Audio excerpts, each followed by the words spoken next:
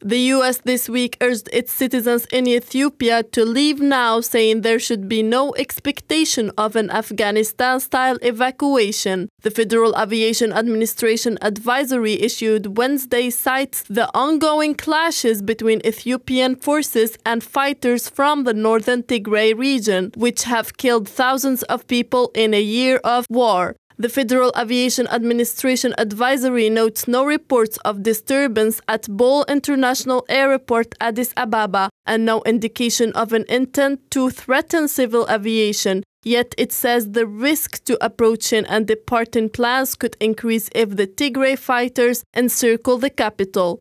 The Tigray forces, who had long dominated the national government before current Prime Minister Abiy Ahmed took office in 2018, have approached Addis Ababa in recent weeks and joined up with another armed group, the Oromo Liberation Army, with the aim of pressing Abiy to step aside.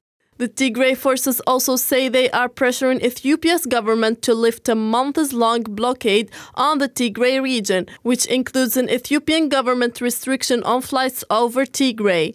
The Federal Aviation Administration advisory also says the Tigray fighters likely possesses a variety of anti-aircraft capable weapons, including rocket-propelled grenades, anti-tank weapons, low-caliber anti-aircraft artillery, and man-portable aircraft defense systems, or manpads which could reach up 25,000 feet above ground level.